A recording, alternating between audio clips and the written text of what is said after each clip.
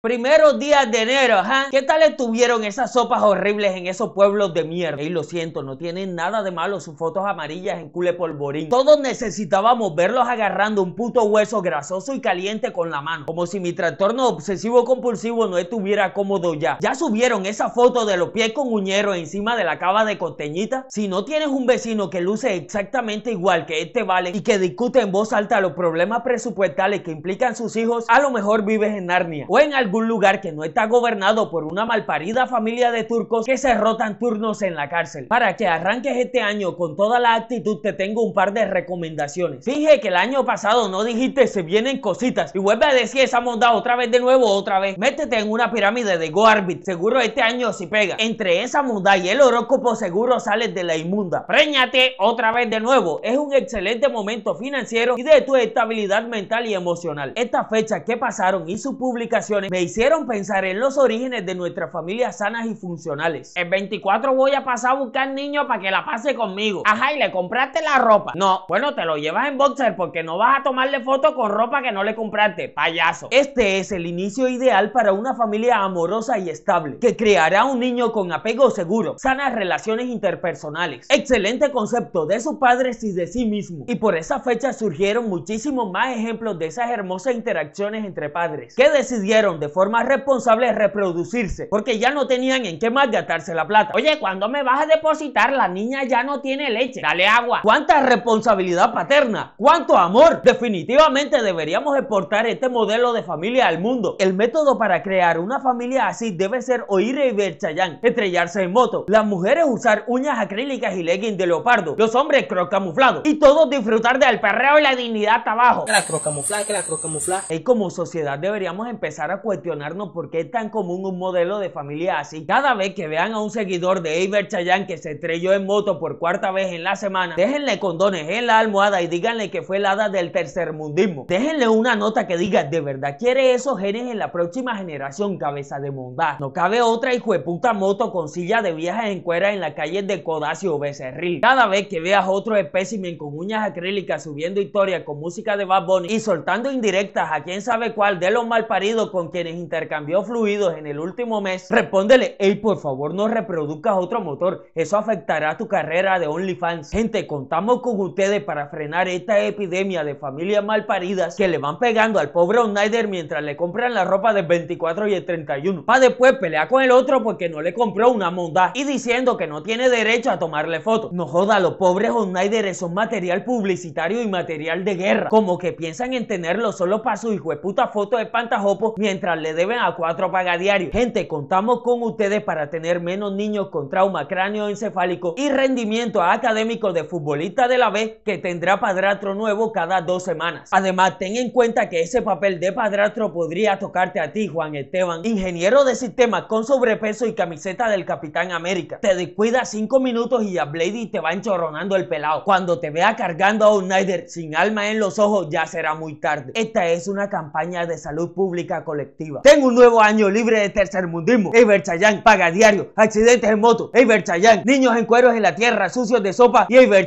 Y no olvides que con el código Eiber Chayán obtienes una demanda por alimentos. No mentira, no olvides que con el código Turner25 obtienes 25% de descuento en el total del pedido, incluyendo lentes y monturas en colgafa.com. Puedes ingresar tu fórmula optométrica y están disponibles los lentes Transitions. Y les cuento que en enero pueden tener en Turner Bar, el lugar que abrió mi papá en Toluviejo Sucre, 3x2 en cócteles y micheladas. Caigan a esa mondad. ¿Saben cómo se llama mi papá? Mi papá se llama Edgar.